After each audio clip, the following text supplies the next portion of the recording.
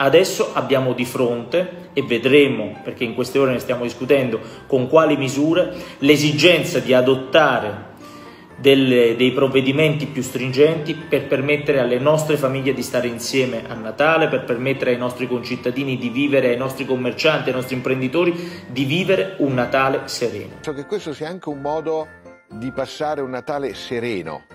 Un Natale sereno è anche un Natale in sicurezza e un Natale sereno in sicurezza è quello nel quale gli individui, le persone, noi eh, adottiamo dei comportamenti che ci permettono di non aver paura di quello che accadrà il 28 dicembre o il 4 gennaio o il 10 gennaio, quando il rischio della curva che sale eh, potrebbe ripresentarsi.